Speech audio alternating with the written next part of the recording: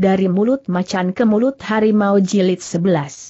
Ketika Hotong mendengar kabar bahwa Giamlok sakit keras kemudian sembuh kembali, Hotong jadi merasa punya seseorang yang nasibnya lebih kurang sama dengannya, dan ia ingin mengunjungi Giamlok. Tetapi sejak ia waras kembali, Hotong belum pernah berani melangkah keluar dari dinding-dinding rumahnya.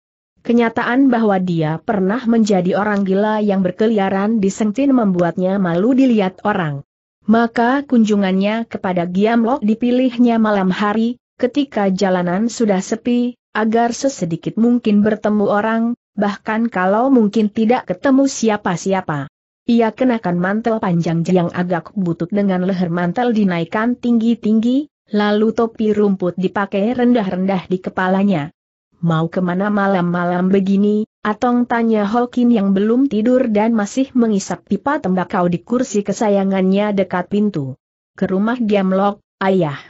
Kalau ada yang hendak mencariku, tolong jangan diberitahu, ya? Aku paham perasaanmu. Hati-hatilah. Hati-hati. Bukankah katanya gerombolan Beng Hek Hou sudah pergi? Hati-hati terhadap apa? Si ayah kebingungan menjawab, Tadi waktu memperingatkan Hotong agar hati-hati, ia bicara begitu saja apa yang dikatakan hatinya. Tetapi ketika ditanya anaknya, ia bingung menjelaskannya. Ayah, apakah kota masih kurang aman, sehingga ayah menyuruhku berhati-hati? Hokin mengepulkan dulu asap tembakaunya, dan menjawab kabur, apa salahnya berhati-hati? Siapa tahu masih ada orang jahat berkeliaran di pinggir kota? Baik, ayah, Aku akan berhati-hati. Hotong keluar dari pintu depan dan mulai menyusuri lorong-lorong sempit yang gelap dan berkabut tebal. Seperti yang diharapkannya, ia tidak bertemu seorang pun. Tiba-tiba dalam hati Hotong timbul keinginannya untuk tidak langsung menuju ke rumah Giamlok, melainkan hendak putar-putar kota dulu. Ia ingin melihat-lihat Sengtin sekarang. Meskipun menurut cerita keluarganya ia berbulan bulan hilir mudik disengtin sebagai orang gila, namun selama zaman gila itu yang dilihat Hotong bukanlah sengtin, melainkan suatu tempat asing yang menurut Hotong gelap terus, tak ada matahari, suatu tempat yang penuh bukit-bukit gersang dan gua-gua yang dihuni makhluk-makhluk aneh atau makhluk-makhluk berdandan bangawan bangsawan zaman kuno, dalam gua-gua juga ada manusia-manusia yang dirantai dan diperintah semaunya oleh makhluk-makhluk itu. Sambil melangkah sendirian di malam gelap itu, Hotong menikmati suasana sengtian di malam hari. Masih seperti dulu, bangunan-bangunannya dan tempat-tempatnya tidak ada yang berubah sedikit pun, namun Hotong merasakan suasananya agak berubah. Terasa ada yang menekan perasaannya, entah apa, Hotong tidak bisa menerjemahkannya ke dalam kata-kata yang masuk akal. Hotong juga melihat perbedaan lain, ia melihat kota Sengtin sekarang penuh bendera-bendera berbagai ukuran dengan tulisan yang aneh-aneh. Mungkinkah di Sengtin ini ditempatkan suatu pasukan pemerintah untuk berjaga-jaga agar jangan sampai diduduki gerombolan lagi? Tetapi seluruh keluargaku dalam pembicaraannya tidak sedikit pun menyinggung tentang adanya pasukan pemerintah di tempat ini tiga uga, kalau ada prajurit pemerintah di sini, tidak perlu rasanya hampir setiap rumah memasang bendera, tetapi kulihat banyak rumah memasang bendera aneh itu meski dalam ukuran kecil. Besok akan kutanyakan kepada orang-orang di rumah, pikir Hotong, ah, kenapa harus menunggu besok? Barangkali Giamlok juga tahu. Setelah melalui beberapa lorong, Hotong kemudian melangkah ke rumah Giamlok. Namun ketika pintu rumah Giamlok sudah di depan hidungnya, Hotong malahan jadi ragu-ragu untuk mengetuk pintu, soalnya, dari dalam rumah Giamlok terdengar pertengkaran. Suara yang bertengkar itu ialah suara Giamlok dan ibunya. Terdengar suara Nyonya Giam yang melengking tinggi, kau sungguh angkuh, Aliok. Kau sudah sembuh, tetapi kau menganggap itu hanya hasil dari semangatmu yang besar, bukan anugerah para dewa, aku tidak menanggung kalau kau bakal menanggung kemarahan yang lebih berat dari para dewa. Suara Giamlok pun bernada tinggi, emosional, kemarahan dewa siapa? Dewa Lui Kongsim. Yang begitu berkuasa menetapkan, orang bersalah dan menghukumnya? Hotong sebenarnya ingin mampir, namun setelah mendengar itu lalu tidak jadi mampir. Tetapi ketika ia baru saja melangkah meninggalkan pintu, didengarnya pintu terbuka dengan keras dari dalam, dan suara Giamlok, aku tidak betah lagi di rumah ini. Rumah penuh tahyul dan omong kosong. Dan suara nyonya Giam dari dalam rumah, minggat dari rumah ini, anak keras kepala kekeras kepalaanmu yang tidak mau mengakui. Para dewa itu bisa menyebabkan rumah ini kena kutuk. Enyah dari sini. Itu lebih baik. Lalu Nyonya Gia melangkah ke pintu dan memasang palang pintu di sebelah dalam pintu. Giamok kini berada di luar pintu, di tengah malam yang dingin dan berkabut. Dengan masgul ditatapnya pintu rumahnya yang sudah tertutup dari dalam itu. Sambil menghela napas berat, Giamlok lalu melangkah pergi sambil mendekapkan tangannya menahan dingin, tetapi langkahnya tertegun ketika melihat sesosok bayangan bermantel panjang dan bertopi berdiri tidak jauh dari pintu rumahnya. Giamlok terkesiap. Siapa kau? Met Lui Kong Sim. Hotong heran mendengar pertanyaan itu, apakah kota Sengtin yang dulunya orang-orangnya begitu rukun dan akrab seperti keluarga besar itu, sekarang terbiasa saling memata-matai. Apalagi sesama murid guru silat Chiu Koan, dulu ikatannya melebihi ikatan saudara sedarah, dan baik Giam Lo maupun Lui Kong Sim sama-sama murid dari guru silat itu. Kakak loh, aku. Hotong. Tanda petik.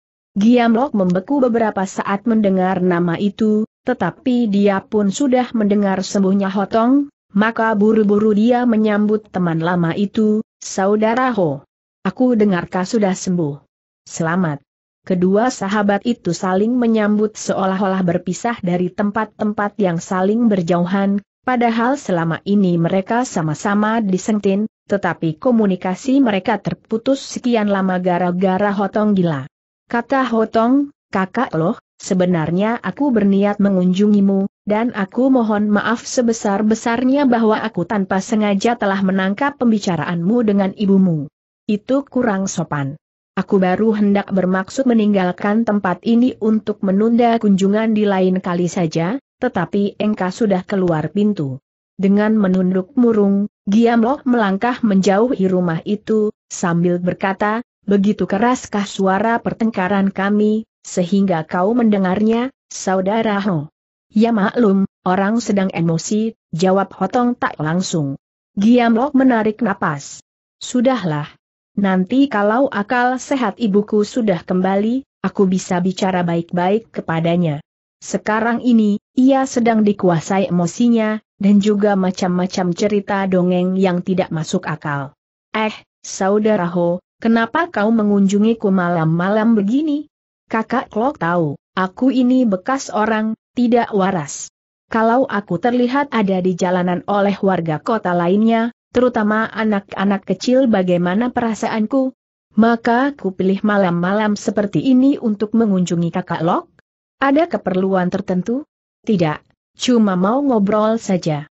Sumpek rasanya di rumah terus. Kakak diam ada waktu? Aku senang ada yang diajak mengobrol, saudara Ho. Tetapi kau lihat sendiri bahwa aku baru saja diusir dari rumahku. Jadi, kita harus cari tempat dulu. Bagaimana kalau rumahku? Tidak, saudara Ho.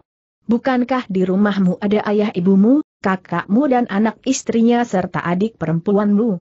Aku ingin bicara lebih leluasa hanya kepadamu, saudara Ho.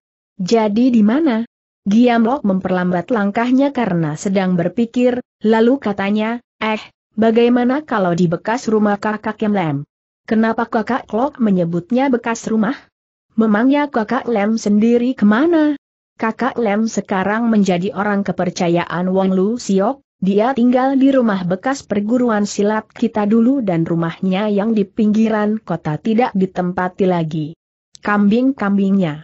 Selama gerombolan Beng Hek Hao menguasai kota ini, kambing-kambingnya habis dijadikan bahan pesta pola gerombolan. Kabarnya pula, untuk memperkuat ilmu sihir hitamnya, Bang Hek Hou setiap hari harus memakan satu jerohan kambing, mentah-mentah. Hotong agak mual. Kok seperti macan saja? Ilmunya Beng Hek Hao ini namanya saja ilmu macan hitam. Entah kenapa, pikiran Hotong tiba-tiba melayang ke pengalaman anehnya ketika ia mengembara di tempat asing yang gelap terus dan di tempat itu penguasanya adalah seekor macam hitam yang bisa berjalan dan bicara seperti manusia, sebelum si macan hitam itu diambil alih tempatnya oleh makhluk-makhluk langit yang berdandan seperti para pangeran, putri bangsawan dan panglima-panglima zaman kuno dan pasukan makhluk-makhluk anehnya. Tetapi Hotong diam saya soal itu, sebab dianggapnya Giamlok belum tentu bisa menerima ceritanya itu. Kalau didengar dari kata-katanya sejak dulu, Giamlok ini agaknya orang yang mendoakan akalnya, otaknya, menuntut segala sesuatu harus bisa dijelaskan dengan akalnya sebelum ia mau mempercayainya mereka pun melangkah maju ke rumah kosong bekas kediaman E Kiam Lam. Tetapi sebelum sampai ke tempat itu, ketika mereka lewat persimpangan antara dua lorong, tiba-tiba Giam Lok menarik tangan Hotong untuk buru-buru diajak bersembunyi di semak-semak belukar yang gelap di pinggir jalan. Hotong hendak bicara, tetapi mulutnya lebih dulu dibekap oleh telapak tangan Giam Lok yang sambil membisikkan SSST ke kuping Hotong, menyuruh Hotong diam. Hotong tidak melawan, ia mendekam membisu di balik semak-semak bersama Giamlok. Ternyata, yang membuat Giamlok bersikap macam itu tak lain adalah serombongan orang yang melangkah dari ujung lorong lain, jumlahnya ada kira-kira lima-enam orang. Mereka bicara sambil tertawa-tawa. Hotong mengenal salah satu suara itu adalah suara Lui Kong Sim, juga bekas murid Chiu Koan, alias teman seperguruan Hotong dan Giamlok. Bukan siapa-siapa, itu suara kakak Sim, bisik Hotong kepada Giamlok, lalu ia sudah hendak berdiri keluar dari persembunyiannya, tetapi Giamlok menahan pundaknya sambil membisikinya, jangan keluar. Nanti ku jelaskan. Hotong heran, tetapi menurut. Hanya dalam hatinya membatin. Kota ini belum berubah bangunan-bangunannya, tetapi orang-orangnya sudah berubah. Apa yang terjadi? Sementara Lui Kongsim dan beberapa temannya itu makin dekat, dan terdengar suara Lui Kongsim sambil tertawa. Lagaknya yang garang itu hanya mempan digunakan untuk memeras perempuan tua tak berdaya seperti Bibi Yao.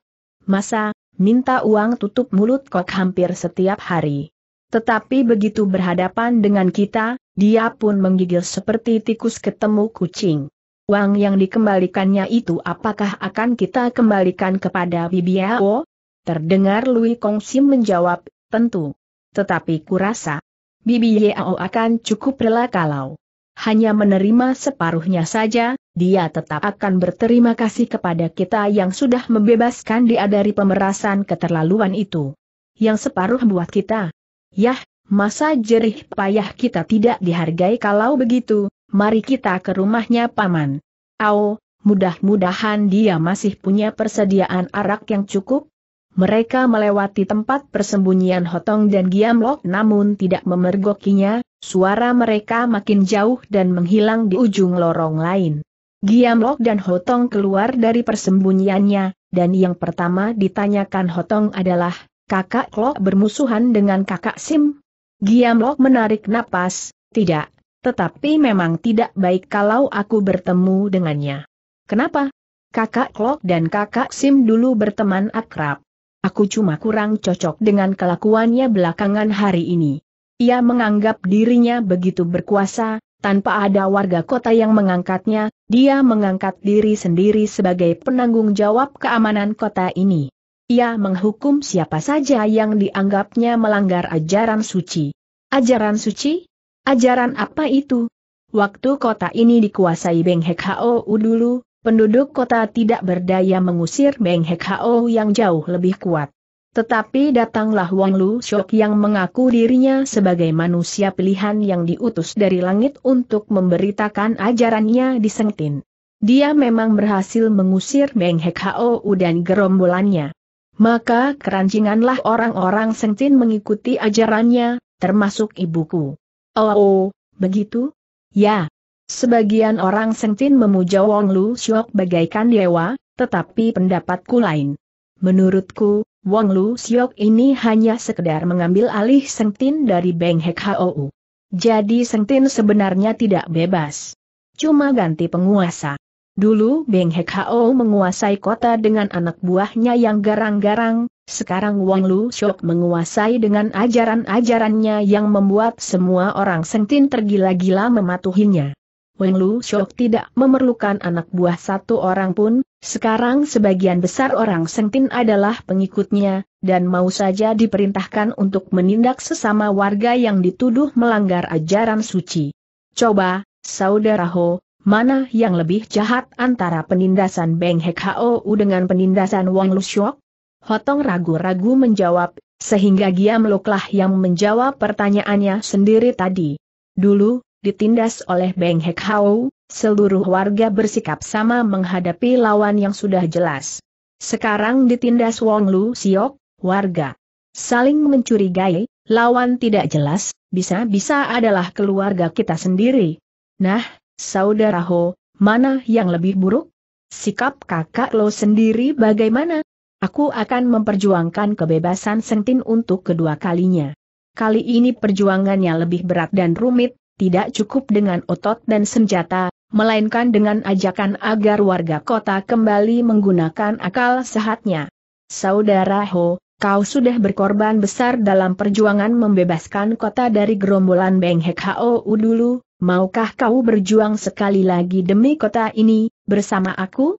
Hotong belum pulih benar dari kenangan amat buruknya, sekian bulan menjadi orang gila, dan sekarang ia tidak buru-buru menyambut ajakan Giamlok itu. Malahan balik bertanya, siapa saja sudah setuju untuk bergabung dengan kakak Lok? Giamlok menarik napas. Terus terang saja, baru aku sendirian.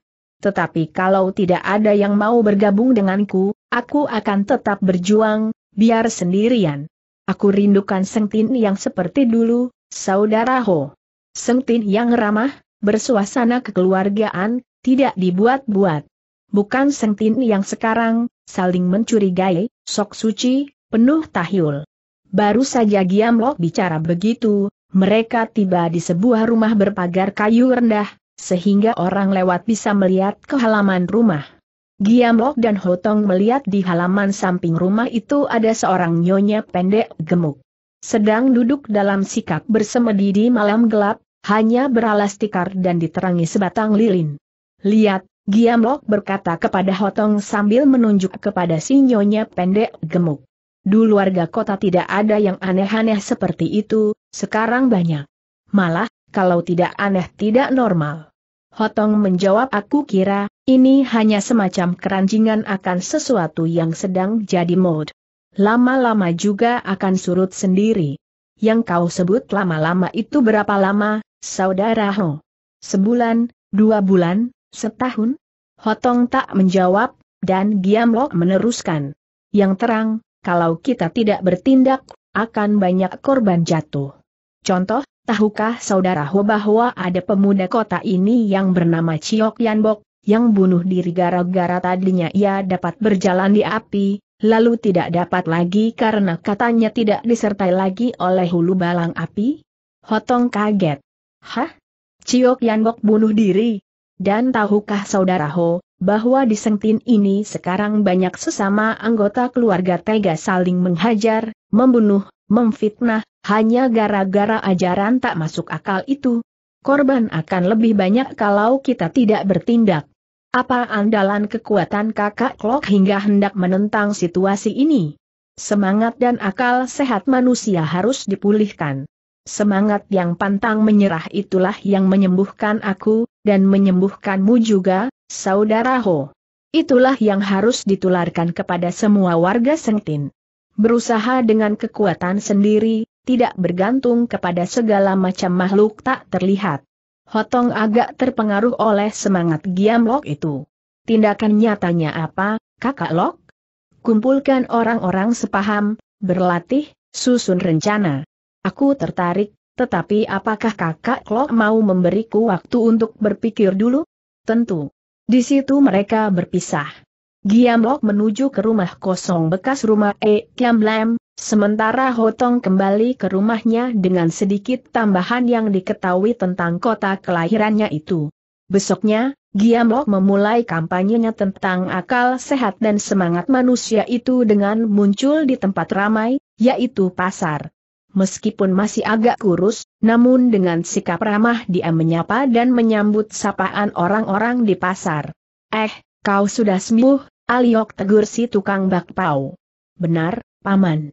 Ternyata tindakan kita menangkap si gadis pembawa kutukan itu adalah tindakan tepat. Buktinya, begitu gadis itu dikurung, penyakitmu lenyap. Gadis pembawa kutukan? Siapa? Aku tidak tahu namanya, dia gadis asing yang dalam beberapa hari ini berkeliaran di kota. Di mana dia sekarang? Dikurung di kediaman Guru Wong. Sengtin kota beradab, kota yang tahu aturan, tidak boleh kita seenaknya saja menghukum orang dengan alasan yang tidak masuk akal seperti tuduhan pembawa kutukan dan sebagainya. Seluruh kota yang memutuskan nasibnya. Kau mau melawan seluruh kota? Giamok membungkam. Darahnya menggelegak, tetapi otaknya menahan untuk bertindak atau berkata sembarangan. Jangan sampai niatnya untuk memperjuangkan kemenangan akal sehat terbentur langkah pertama hanya karena gara-gara salah bicara. Aku harus cari teman-teman sepaham dulu, melebarkan pengaruh, baru bisa memperlihatkan sikap, pikirnya. Di depan si tukang bakpao itu pun Giamlok ganti haluan kalau memang orang-orang Sengtin sudah mempertimbangkan matang-matang tindakannya, ya boleh-boleh saja. Eh, Paman, di mana si Agun? Anak si tukang bakpao itu memang teman lama Giamlok. Si tukang bakpao menjawab dengan bangga. Agun terpilih sebagai salah seorang pengawal kota kita ini. Hebat dia sekarang, aku pernah lihat sendiri dia memanjat tangga yang anak tangganya adalah golok-golok yang tajamnya menghadap ke atas. Dia memanjatnya dengan kaki telanjang. Coba, hebat tidak? Guru silat Ciu Kean mana bisa mengajari sampai sehebat itu? Giamlok kurang senang gurunya dibanding-bandingkan. Ah, paman, orangnya sudah mati kok masih dibicarakan. Mendiang Guru Ciu juga pernah jadi orang berjasa di kota ini. Aku tidak meremehkan kok. Aku cuma ingin kau tahu bahwa kota kita ini sekarang penuh dengan pengawal-pengawal hebat-hebat. Tanpa bermaksud meremehkan almarhum Guru Ciu. Sudahlah, sekarang akan kutemui teman-teman lama dulu. Sudah lama tidak ketemu mereka. Kalau ketemu anakku Agun, jangan kaget. Dia agak lain dari dulu. Ya, aku tahu. Sekarang dia seorang pengawal yang bisa memanjat tangga golok tanpa terluka, begitukah? Wajah si tukang bakpao yang semula bangga menceritakan anak laki-lakinya itu, kini berubah jadi agak murung. Maksudku, dia sekarang agak pemarah, kadang-kadang orang tuanya pun tak dapat mengetahui apa maunya. Oh, begitu Giamlok menjawab ringan. Tahap pertama dari rencananya itu, Giamok belum terang-terangan mencari orang-orang sepaham. Ia sekedar lihat-lihat dulu sambil memamerkan kesembuhannya kepada orang-orang sengtin. Kesembuhan karena akal sehat dan semangat serta harapan yang tidak padam tanpa campur tangan sesuatu yang bersifat gaib. Namun sebenarnya dalam hati Giamlok mulai ragu juga, ia meragukan sendiri keberhasilan niatnya itu. Soalnya, bagaimana hendak meyakinkan orang-orang sengtin bahwa hidup ini hanya butuh akal sehat dan semangat saja? Sedang disengtin orang-orang sudah terlanjur melihat hal-hal yang tak masuk akal seperti orang berjalan di api, memanjat tangga golok dan sebagainya. Bagaimana menjelaskan itu menurut akal sehat? Giamlok pusing juga. Namun setengah hari itu Giamlok habiskan untuk berkeliling sengtin. Sejak ia sembuh, ia belum pernah keluar rumah. Ketika lewat di warung barang keramik kepunyaan Ban Keliong, Giamlok melihat banyak orang berjejal-jejal membeli sesuatu dari Ban Keliong. Ada yang beli barang jadi, ada yang mengambil pesanan, ada yang baru memesan. Giamlok berdiri di belakang orang-orang itu dan mendengarkan orang-orang itu. Juragan Ban, pesananku sudah jadi? Patung Panglima teratai api di latar rumahku harus segera ada pasangannya, bidadari api bertangan seribu yang muncul di mimpiku, kata seorang. Nyonya. kalau tidak segera dipasangkan, aku khawatir keluargaku akan menanggung kemarahan makhluk-makhluk suci itu. Terdengar jawaban Ban Keliong dari tengah kerumunan, jangan khawatir, Nyonyawan, pesananmu sudah tersedia. Aku sadar betapa pentingnya patung ini bagi keselamatan keluargamu, maka ku kerjakan cepat-cepat. Biarpun cepat-cepat, tetapi sesaji-sesaji dan persyaratan lain tidak dilupakan kan? Oh, tentu saja tidak, Nyonya. Sesibuk apa pun, aku menyadari pekerjaanku ini bukan pekerjaan biasa lagi, melainkan sudah menjadi pekerjaan yang suci, tugas dari langit, menyangkut kota ini mendatangkan berkah atau malapetaka. Maka pekerjaanku tidak main-main. Nyonya pemesan dengan sukacita menerima pesanannya, membayar harganya lalu membawanya pulang dengan khidmat. Patung kecil dari porselin dijunjung lebih tinggi di kepalanya. Seorang gadis mendesak maju, kepalanya mengenakan penutup untuk menutupi memar-memar bekas hajaran di wajahnya. Sambil mengulurkan segenggam uang, ia berkata, Paman Ban, beri aku arca bidadari penari untuk kupuja, agar aku bisa menari sebaik teman-temanku.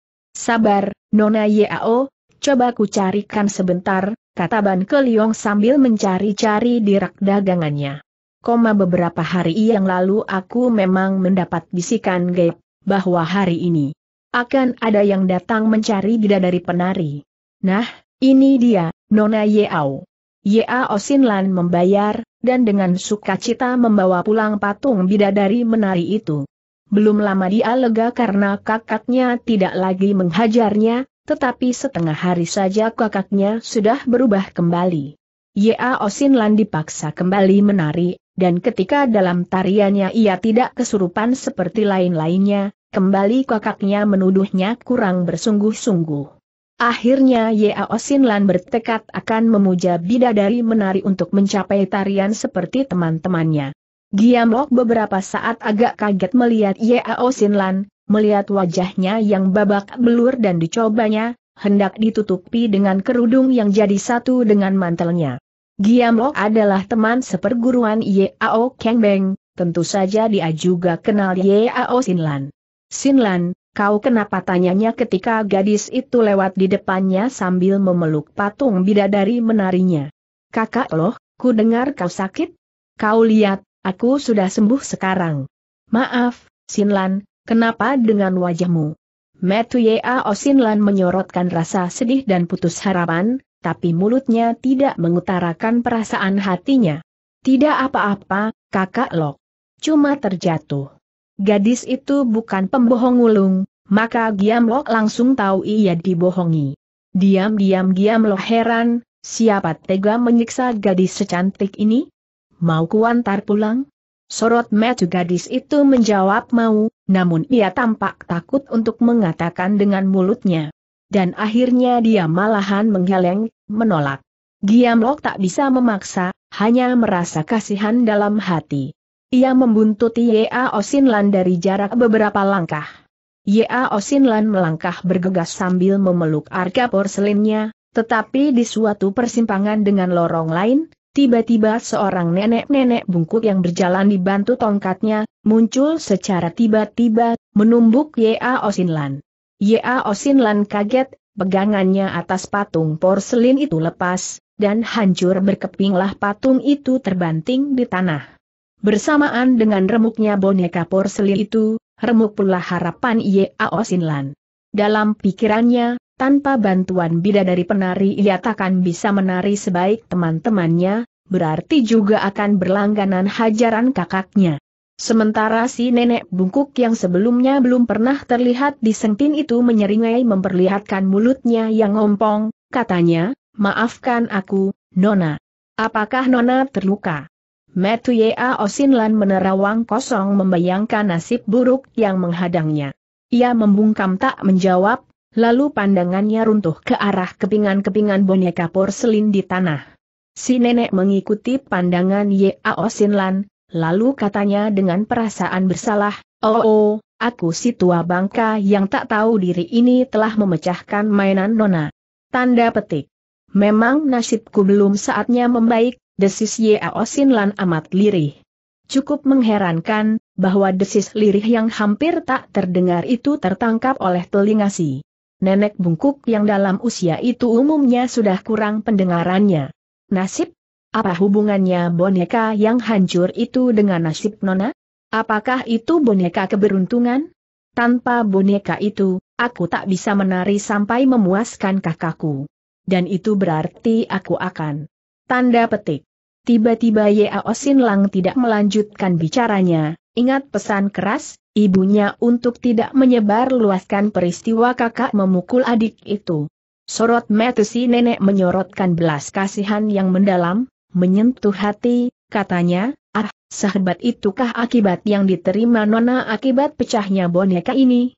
Kalau beli lagi, apa masih ada yang jual? Aku masih punya sedikit uang kok. Lalu nenek itu mengeluarkan kantong lusuh yang terselip di ikat pinggangnya dan hendak mengeluarkan beberapa keping uang tembaga yang nilainya tidak seberapa.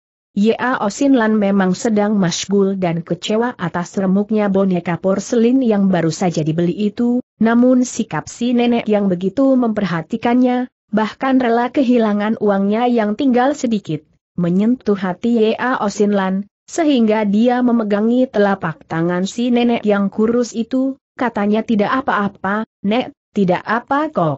Uang nenek disimpan saja. Tetapi tadi Nona bilang, pecahnya patung porselen ini akan memengaruhi nasib. Tanda petik. Tidak apa-apa, tidak apa-apa. Aku bisa mengatasinya. Kudoakan, mulai sekarang Nona tidak mengalami hal-hal buruk lagi, kata nenek sambil melangkah pergi. Dari jarak belasan langkah Giamlok melihat semuanya itu. Giamlok kemudian meneruskan langkahnya, ia merasa nampaknya sulit menemukan teman sepaham yang bisa diajak membebaskan Sengtin dari pikiran tidak sehat, namun ia tidak berputus asa. Di suatu jalan yang agak ramai, tiba-tiba ia melihat ada sesuatu ribut-ribut di pinggir jalan. Ketika Giamlok mendekat, ternyata dia melihat Agun, teman lama Giamlok, yang kini nampak gagah dengan golok di pinggangnya dan ikat kepala kuning bertuliskan huruf-huruf suci di kepalanya. Tetapi Giamlok mengerutkan alis melihat teman lamanya itu dengan galak sedang mencaci maki seorang nenek tua, yang bukan lain adalah nenek tua yang menabrak Ya Osinlan tadi. Sebenarnya Giamlok heran juga, nenek ini tadi jalannya kelihatan tertatih-tatih dan maju ke arah lain, Kok tahu-tahu si nenek sudah ada di depan Giamlok dan bahkan sudah bikin perkara dengan Agun si anggota regu keamanan kota itu? Padahal Giamlok juga melangkah cepat dan lebar. Tetapi, lepas dari keheranannya, Giamlok merasa wajib melerai pertengkaran itu. Cepat-cepat ia mendekat, dan berkata kepada Agun, Agun, jangan kau marahi orang tua ini.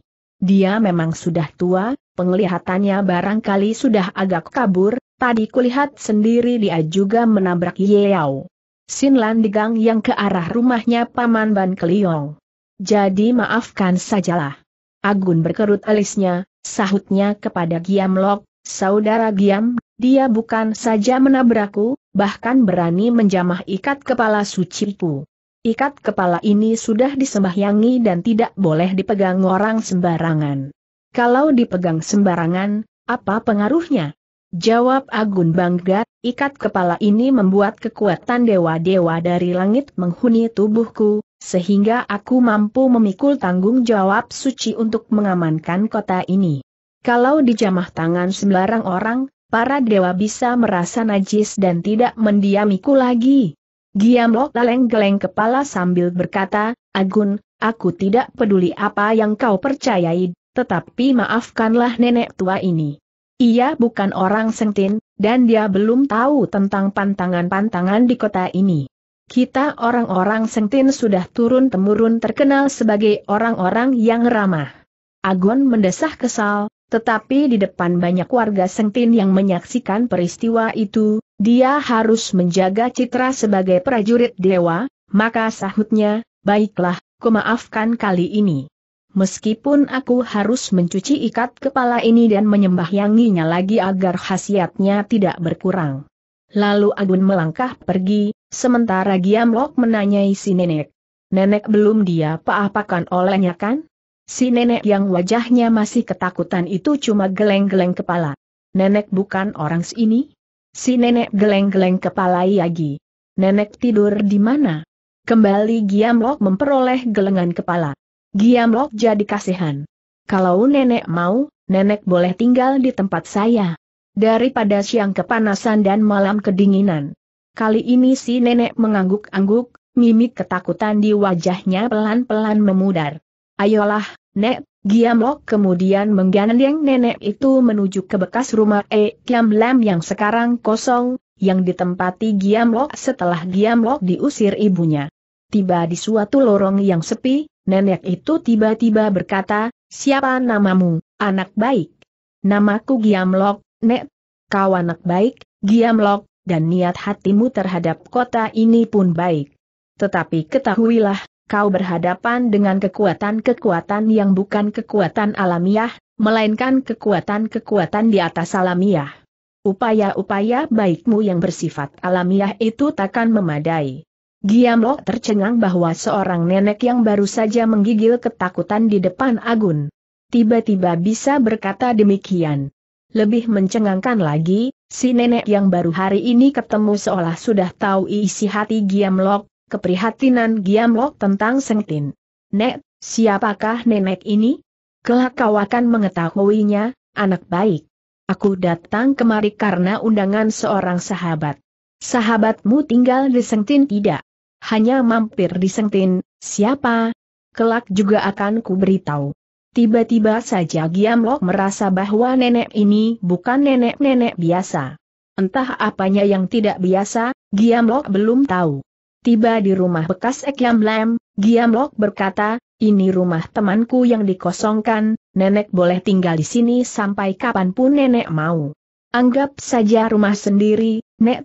Si nenek melihat betapa berantakannya bagian dalam rumah itu, ia lalu geleng-geleng kepala sambil berkata, Giamlok, kau anak baik tapi jorok. Masa kau betah diam di rumah seberantakan ini? Kata-katanya itu bernada menggerutui, namun menimbulkan rasa hangat di hati Giamlok, sebab nadanya seperti seorang nenek menggerutui cucu yang disayanginya. Giamlok jadi merasa punya nenek lagi, yang tidak dimilikinya sejak ia berusia 10 tahun. Namun Giamlok masgul juga, teringat akan ibu kandungnya sendiri yang justru sudah mengusirnya dari rumah. Tanpa disuruh nenek itu menyelinap ke belakang rumah, entah hendak mengerjakan apa. Giamlok membiarkannya saja, supaya nenek itu betah. Nek, aku beli makanan dulu, ya? Lalu Giamlok keluar dari rumah itu, tetapi setelah tiba di jalan, ia bingung sendiri, sebab ia tidak mungkin membeli makanan di mana pun. Soalnya di kantongnya tak ada uang sepeser pun. Ketika ia pergi dari rumah, yang dibawanya hanyalah pakaian yang menempel di badannya. Selagi Giamlok kebingungan, Si nenek menyusul keluar sambil berkata, Hei, Giamlok, ini uang nenek. Bawa. Tanda petik. Giamlok menggeleng. Tidak, nek. Nenek membutuhkan uang itu. Gunanya uang untuk dibelanjakan. Terimalah. Baru kenal kurang dua jam, antara Giamlok dan nenek asing itu seolah sudah terjalin komunikasi dari hati ke hati yang kuat dan aneh, komunikasi yang tidak terlalu membutuhkan kata-kata panjang yang bertele-tele.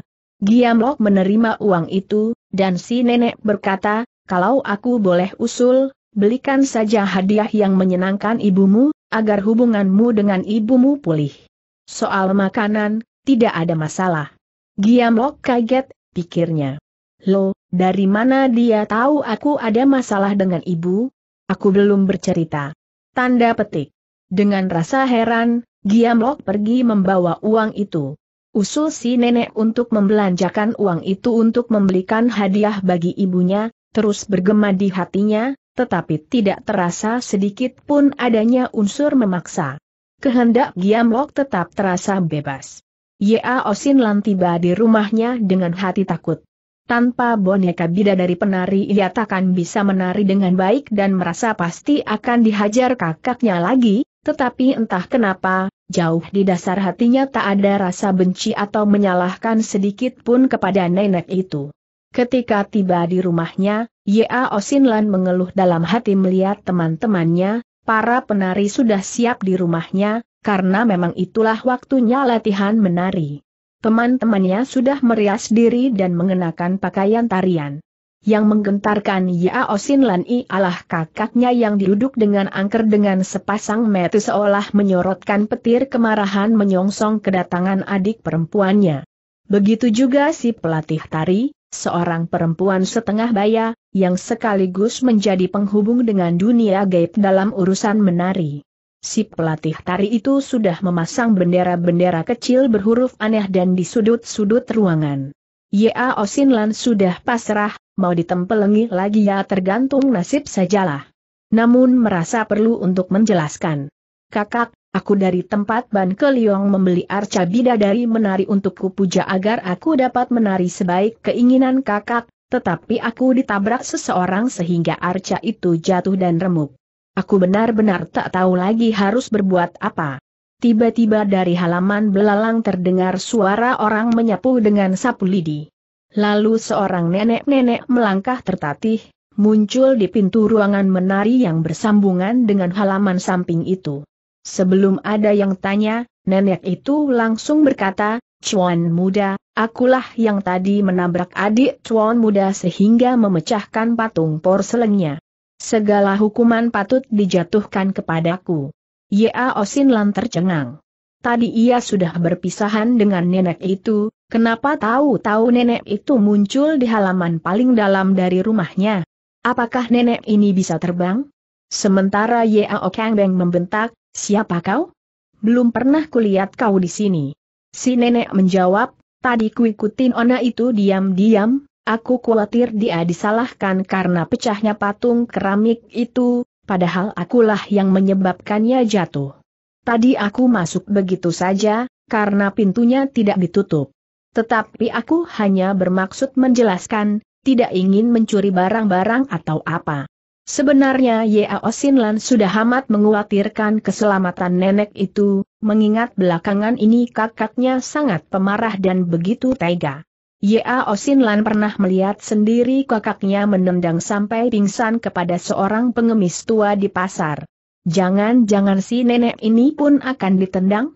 Ternyata, Yao Kang Beng cuma bilang, kalau begitu ya sudahlah. Kau boleh pergi, Nek, Si nenek mengangguk-angguk sambil melangkah tertatih-tatih pergi.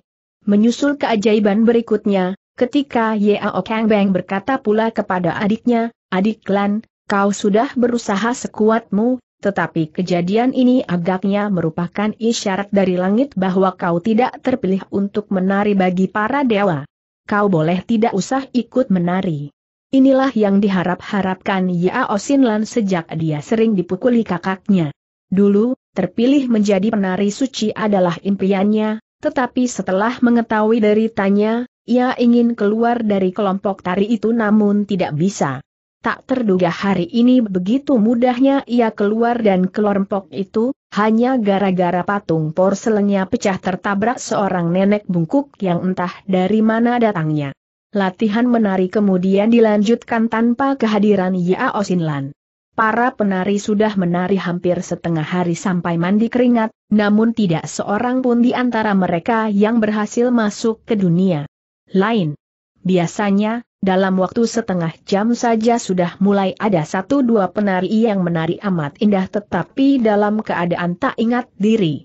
Kalau si penari sudah usai, biasanya dia akan bercerita bahwa dia baru saja menari di sebuah istana yang indah di langit, dikelilingi mega, dan penonton-penontonnya adalah orang-orang berpakaian bangsawan-bangsawan zaman kuno, tetapi tampangnya serba istimewa. Ada yang tangannya empat, ada yang matanya tiga, ada yang mukanya seperti api menyala, tetapi tidak sedikit pula yang bertampang normal seperti manusia di bumi. Kemudian kalau tarian dilanjutkan sampai satu dua jam, maka semua penari akan mengalami hal yang sama kecuali Yao Sinlan. Tetapi kali ini, sampai penari-penarinya mandi keringat, tak satu pun menari di istana langit sampai seorang gadis pingsan kelelahan.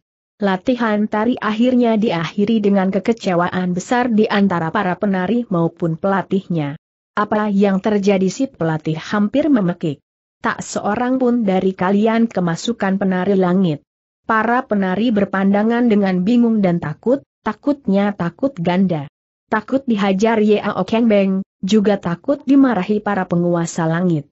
Kami sudah bersungguh-sungguh, kata seorang penari dengan ketakutan. Kami tidak tahu apa yang tidak beres sehingga sampai begini. Yao Kang Beng meninggalkan ruangan itu dengan wajah gelap, tidak mengucapkan sepatah kata pun. Pada saat yang sama, Hotong sedang mandi keringat di bawah matahari. Ia sedang membelah kayu dengan kampaknya, sebanyak-banyaknya, sehabis menimba sumur dan mengisi semua persediaan air sepenuh-penuhnya. Ia bekerja gila-gilaan seperti itu untuk menyingkirkan rasa jemunya. Siang-siang seperti ini, orang-orang muda lainnya sedang berada di luar rumah dan melakukan kegiatan-kegiatan menarik, tetapi Hotong tidak berani keluar rumah. Sebagai bekas orang gila, ia khawatir kalau dilihat orang di jalan akan banyak mentertawakannya dan membicarakannya, terutama anak-anak. Karena itulah Hotong tidak berani keluar rumah di siang hari. Dan itu membuatnya kesal, yang dilampiaskannya dengan kerja sekeras-kerasnya. Rasa kesepiannya bertambah lagi, karena saat itu seisi rumahnya sedang pergi semuanya. Ibunya, kakak ipar perempuannya dan adik perempuannya sedang pergi entah ke mana. Ayahnya mungkin sedang nongkrong di warung teh di ujung jalan, mengobrol dengan orang tua-orang tua seusianya, dan kakak laki-laki Hotong yang bekerja sebagai buruh kasar itu pun sedang di luar rumah, menawar-nawarkan tenaganya. Dua keponakan Hotong, anak-anak kakaknya, juga tidak kelihatan batang hidungnya semuanya, kedua orang anak itu pasti sedang bermain-main dengan teman-teman mereka. Hotong benar-benar merasa hatinya tertekan, sebelum kayu-kayunya selesai dibelah semua, tiba-tiba kekesalannya meledak dan kapak pembelah kayu itu dilemparkan sekuatnya, melayang melewati halaman samping dan runtuh ke tanah setelah menabrak keras dinding halaman depan. Dan dari pintu depan pun terdengar suara, aduh. Hotong kaget, mengira lemparan kapaknya itu mengenai orang. Cepat ia lari ke halaman depan dan melihat seorang nenek bungkuk yang belum pernah dilihatnya sudah berdiri di halaman depan rumahnya. Nek, kau tidak apa-apa? Si nenek menggeleng. Aku hanya kaget. Kau yang melempar kapak itu? Ya, Nek.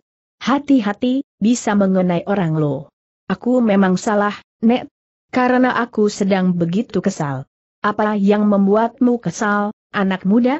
Hi, nenek ini siapa sehingga menanyai aku terus seperti itu? Oh, aku ini diminta oleh seorang teman baik untuk menilik keadaan seorang sahabatnya yang bernama, bernama Hotong, begitu. Eh, anak muda, tahu rumah Hotong di mana?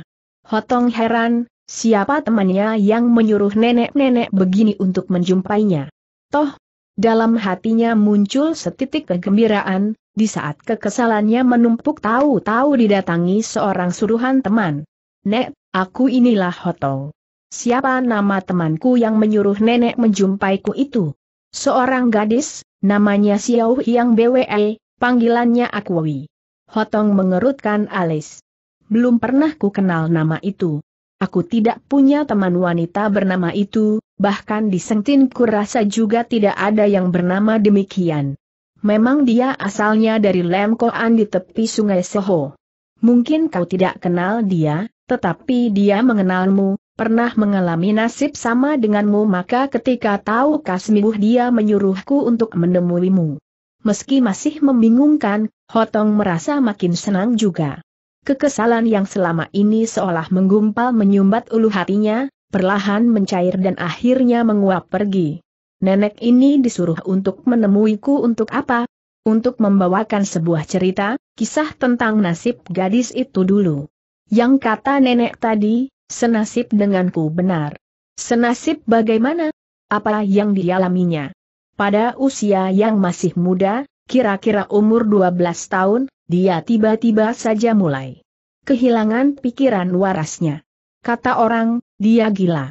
Penyebabnya, karena ayahnya yang tabib terkenal di Lemkoan itu ingin lebih hebat lagi ilmu pengobatannya supaya lebih terkenal, dan ayahnya mulai mendukung praktek pengobatannya dengan ilmu gaib. Memang jadi lebih hebat, tetapi Xiao Hiang Bwe jadi korban. Hampir delapan tahun dia tak ingat dirinya, tak ingat siapa-siapa, bahkan sering bertelanjang di jalanan. Ceritanya baru sampai di situ, Hotong sudah merasa bahwa penderitaan Xiao Hiang Bwe jauh lebih berat dari dirinya. Pertama, Xiao Hiang Bwe adalah seorang gadis, perasaannya lebih halus dari lelaki seperti Hotong. Entah bagaimana perasaannya waktu dia sembuh dan menyadari apa yang sudah dialaminya selama delapan tahun. Kedua, Hotong menjadi gila karena penyebab yang bagaimanapun patut dibanggakan, yaitu berkorban dalam perjuangan membebaskan Seng Tin dari cengkeraman Beng Hek Hou. Sedangkan penyebab penderitaan Xiao Hiang Bwe benar-benar memalukan dan menimbulkan rasa iba, yaitu dikorbankan oleh ayahnya sendiri, dijadikan tumbal, untuk menambah kejayaan Seng Ayah. Ketiga, Hotong menderita kegilaannya hanya dalam beberapa bulan, sedangkan Xiao Hiang BWS sampai delapan tahun, tak terasa Hotong menundukkan kepala dan menegur diri sendiri dalam hati. Alangkah cengengnya aku. Baru mengalami sedikit kesepian saja aku sudah begitu kesal, sampai melempar kapak dan hampir mencelakai orang, padahal penderitaanku belum seberapa dibandingkan Xiao Hiang BWE. Lalu bagaimana, Nek? Lebih kurang setahun yang lalu, Xiao Hiang BWE sembuh karena belas kasihan yang maha kuasa, dan karena ada seorang yang rela dirinya menjadi saluran belas kasihan surgawi itu. Syukur, lega sekali Hotong mendengar itu, padahal yang namanya Xiao Hiang BWE itu bagaimana tampangnya pun Hotong belum tahu. Si nenek melanjutkan ceritanya. Xiao Hiang Bwe jadi gadis yang waras kembali, tetapi dia tidak murung dan tidak malu tentang masa lalunya, bahkan dia memanfaatkan itu untuk membangkitkan semangat bagi orang-orang yang pernah senasib dengannya. Hal itu tidak perlu menjadikan mereka malu. Sekarang Hotong mengerti maksud kunjungan nenek itu, tak lain agar Hotong bersemangat kembali. Kata Hotong, Nek, Terima kasihku untuk Nona Xiao. Tetapi dari mana dia mengenal aku? Dia di Lem Kean dan aku di Sengtin? Xiao yang BWM melakukan perjalanan dan melewati Sengtin ini, dia melihat keadaanmu ketika masih buruk. Dialah saluran yang maha kuasa bagi kesembuhanmu. Nenek itu menyodorkan kenyataan begitu saja, tanpa sedikit pun disertai bukti-bukti, namun kata-katanya serasa menyentuh bagian terdalam dari hati Hotong. Langsung ia mempercayainya begitu saja, dan menjadi terharu. Kalau demikian, aku berhutang budi kepada Nona Xiao. Inilah jawaban yang kuharapkan selama ini, menjawab keherananku akan kesembuhanku. Di mana Nona Xiao sekarang? Saat ini dia belum dapat dijumpai, tetapi ada saatnya dia akan menjumpaimu. Kenapa dia? Si nenek sudah hendak beranjak hendak pergi, katanya, pokoknya, saat ini belum bisa. Nona Xiao pasti akan senang kalau mengetahui bahwa kau tidak patah semangat, tidak menyesali yang sudah terjadi. Kalau nenek bertemu dengannya, katakan bahwa pesannya membuat aku bersemangat kembali. Sekali lagi, ucapan terima kasihku untuknya. Baik, sekarang aku pergi dulu, Si nenek melangkah keluar pintu halaman. Tiba-tiba Hotong teringat bahwa ia belum menanyakan nama dan alamat si nenek, cepat-cepat ia menyusul keluar pintu. Selisihnya dengan si nenek hanya 3-4 detik, namun ketika ia tiba di luar maka yang dilihatnya adalah lorong di depan rumahnya yang sepi sampai ke ujung-ujungnya, tidak ada seorang pun. Si nenek tak kelihatan bayangannya lagi. Apakah nenek tadi seorang pendekar sakti seperti yang pernah diceritakan almarhum guru dulu Hotong bertanya-tanya dalam hati? Atau, makhluk gaib yang bukan sejenis manusia? Tiba-tiba salah satu pintu di lorong itu terbuka, muncullah tetangga Hotong menggandeng seorang anak kecil dan menggandeng anak lainnya yang lebih besar, Hotong ingin menghindari pertemuan dengan tetangganya itu, masih minder sebagai bekas orang gila, tetapi tidak sempat lagi, sebab perempuan tetangga itu sudah berkata, eh, atau Hotong mau tidak mau membalas sapaan itu. Kakak Heng, tanda petik. Perempuan tetangga itu berkata di luar dugaan Hotong, Atong, aku harus pergi ke pasar dan nanti pulangnya akan membawa banyak barang belanjaan, aku repot sekali kalau kedua anakku ikut semua. Maukah kau kutitipi Aim, anakku yang besar ini? Hotong tercengang, tidakkah tetangganya ini sadar bahwa dia menitipkan anaknya kepada seorang yang baru sembuh dari gilanya? Tidakkah ibunya khawatir si anak akan dicekik atau dicemplungkan ke sumur? Karena keheranannya itu, Hotong tidak menjawab beberapa saat lamanya. Si perempuan tetangga salah paham, lalu berkata, ah, maaf, agaknya akan merepotkanmu, atau... Baiklah, tidak apa-apa. Ketika itulah di kuping Hotong seakan ada yang berbisik, suaranya suara si nenek tadi, Padahal di sekitar Hotong tidak ada siapa-siapa, anak muda, inilah kesempatan untuk menunjukkan bahwa kau sudah sembuh dan tidak berbahaya lagi. Ibu itu mempercayakan anaknya kepadamu karena menganggapmu sudah sembuh. Hotong menuruti bisikan itu, lalu berkata, Kakak Hang, aku mau menemani Aim. Tanda petik. Dulu sebelum Hotong menjadi gila, Aim anak perempuan kecil berumur lima tahun itu memang akrab dengan Hotong dan sering dibuatkan mainan-mainan oleh Hotong. Kini, begitu mendengar Hotong mau bermain dengannya, Aim langsung gembira dan berlari menghambur ke arah Hotong. Ibunya tersenyum, lalu berangkat ke pasar. Sebenarnya dalam hati si ibu heran juga kepada diri sendiri, kok berani-beraninya memasrahkan anaknya kepada bekas orang gila? Tetapi ada bisikan lembut yang meyakinkannya bahwa anaknya akan tidak apa-apa bersama Hotong. Giamlok sedang melangkah dengan uang si nenek di kantongnya. Si nenek berpesan agar Giamlok membelanjakan uang itu untuk dibelikan oleh-oleh buat ibunya, untuk memperbaiki hubungan dengan ibunya. Namun di tengah jalan, ia menjumpai suatu peristiwa yang mengubah keputusannya. Ketika ia melewati suatu rumah, ia mendengar suara orang perempuan sedang bertengkar sengit. Buat apa aku mengutuk melengking seorang perempuan dengan sengit? Kau ini dan seluruh keluargamu, biarpun tidak kukutuk memang sudah sial dan terkutuk 36 keturunan. Sekarang kau cari gara-gara kemari, cari kambing hitam yang bisa kau persalahkan untuk nasib keluargamu. Sebagai orang Sengtin, Giamok kenal rumah itu kepunyaan seorang tukang kayu, dan yang sedang melengking tinggi tadi adalah istrinya. Kemudian terdengar suara perempuan lain tak kalah emosinya. Ini buktinya. Burung inilah bukti bahwa kau berniat jahat kepadaku.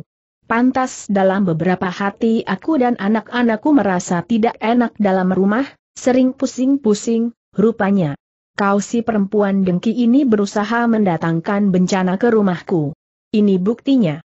Untung Nona aku diutus langit untuk memberitahu kami. Dulu warga Sengtin hidup rukun, Giamok heran bahwa sekarang orang Sengtin mudah marah. Ia kenal suara perempuan kedua yang menuduh itu adalah suara Bibi John, seorang pembuat kue-kue, Seorang janda yang punya anak gadis bernama Akiam dan anak gadisnya itu bernasib malang karena diperkosa oleh gerombolan Beng Hek Hou. Kebetulan Akiam adalah pacar Lui Kong Sim, namun Giam Lok tidak tahu bagaimana kelanjutan hubungan mereka setelah pemerkosaan itu. Giam Lok melangkah mendekat, kalau bisa ingin merukunkan kembali kedua orang itu. Begitu tiba di halaman itu, ia melihat Bibi John dan sinyonya rumah sedang berhadapan dengan marah dan saling mendamprat. Sebentar-sebentar Bibi John menuding kepada sesuatu di tanah, yang dikatakannya sebagai benda yang mendatangkan kutukan atas keluargaku sambil menuduh sinyonya rumahlah yang menguburnya di halaman rumah Bibi John. Ketika Giamlok memperhatikan benda pembawa kutukan itu ternyata adalah seekor bangkai burung yang sudah setengah busuk, sudah banyak semutnya. Burung itu berbulu hitam, dan pada lehernya diikat seutas benang merah. Kalau dilihat banyak tanah yang melekat di tubuh burung itu, agaknya burung itu sudah dikubur beberapa hari dalam tanah, lalu dikeluarkan lagi dari tanah. Kata Giamlok, maukah kalian mendengarku? Kedua orang perempuan itu masih sama-sama panas hatinya, tetapi mereka memberi perhatian juga kepada Giamlok. Kata Giamlok, bibi berdua, kalian tidak perlu bertengkar untuk memperdebatkan sesuatu yang tidak bisa dibuktikan dengan akal sehat. Apa itu kutukan? Tidak ada. Yang penting adalah semangat kita sendiri. Misalnya aku, aku baru saja sakit berat, orang-orang bilang aku kena kutukan, namun aku tak peduli. Aku menjaga agar harapanku tidak padam, semangatku juga tetap menyala, maka sekarang pun aku sembuh. Kedua perempuan itu baru saja bertengkar, namun begitu mendengar pendapat Giamlok itu, aneh, keduanya serempak bersatu menentang Giamlok. Kata Bibi Kim si nyonya rumah, Aliok, kau sembuh bukan oleh semangatmu sendiri, melainkan karena orang yang menyebarkan kutukan atasmu sudah ditangkap dan dikurung, maka kutukannya lenyap dan kau sembuh. Jangan kau coba-coba mengingkari pertolongan dari kekuatan suci yang menjaga kota ini. Sambung Bibi John, ku kenal ibumu sebagai orang yang sangat beribadah, aloh, jangan kau menyimpang dari care hidupnya. Agar selamat. Giamlok tercengang, ia tak menyangka kalau kedua perempuan itu berdamai begitu cepat. Tetapi bukan perdamaian seperti itu yang dikehendaki Giamlok. Keinginan Giamlok ialah agar semua orang Sengtin kembali ke akal sehat mereka dan membuang segala kepercayaannya tentang dunia gaib. Bibi berdua, kepercayaan tentang kekuatan-kekuatan gaib itu tidak sehat, tidak benar, bohong. Tanda petik. Siapa bilang di pintu halaman terdengar suara orang menyaut. Ketika semua menoleh, nampaklah Louis Kongsim dan beberapa temannya sudah berdiri di ambang pintu, kemudian tanpa dipersilakan sudah melangkah memasuki halaman. Belakangan ini Louis Kongsim semakin berpengaruh di Sengtin, melebihi Pang Sebun, sejak ia memprakarsai penangkapan dan penghukuman perempuan pembawa kutuk Xiao Yang BWE. Kaki tangan Louis Kongsim bahkan menyebarluaskan pendapat bahwa Louis Kongsim adalah penyelamat Sengtin nomor dua di bawah Wang Lu Xiok dan banyak orang Sengtin menerima pendapat yang disebar luaskan kaki tangan Lui Kongsim itu. Sambil menatap Giam Lok, ia berkata, Saudara Giam, kau mengingkari kenyataan. Ingat ketika kita berempat bersama saudara Ekyam Lam dan Yao Kang Beng berada di suatu bukit di tengah padang ilalang karena melarikan diri dari Beng Hau? Ternyata meski sudah jauh dari Sengtin, kita tetap terkejar oleh sihir Beng Hau. Kita didera kesakitan hebat sehingga kita berempat menggeloser-geloser di tanah seperti empat ekor cacing tanpa daya. Lalu masih ingatkah kau apa yang terjadi? Giamlok membungkam. Tentu saja ia ingat, tetapi mulutnya berat untuk mengucapkannya. Louis Kongsim mentertawakan sikap Giamlok itu. Ayo jawab, saudara Giam. Atau kau enggan mengakui kenyataan yang tidak sesuai dengan seleramu biarpun tidak sesuai seleramu, tetapi itu tetap kenyataan. Demikianlah, di halaman rumah Bibi Kim itu tadinya Giamlok datang untuk melerai pertengkaran, tak terduga malah sekarang Giamlok terjebak sendiri ke dalam pertengkaran dengan Louis Kong Sim.